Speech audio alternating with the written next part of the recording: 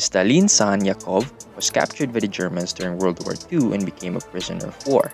Despite various efforts by Stalin and the Soviet government to negotiate his release, the Germans refused to exchange him for a high ranking German officer.